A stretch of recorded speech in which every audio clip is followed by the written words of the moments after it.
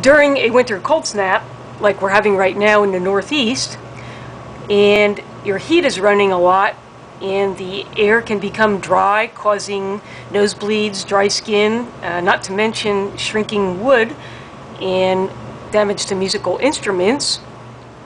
If you don't have a whole house humidifier, there are a few common things you can do, like boil water on the stove, set pans of water around the house, don't run the fan while you're showering.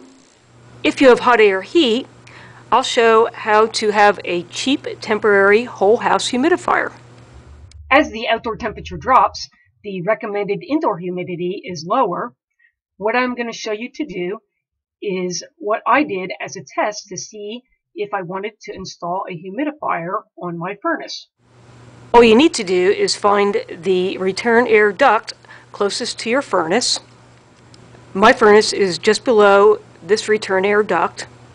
Then place a vaporizer, and you probably already have one of these, beside the return air duct.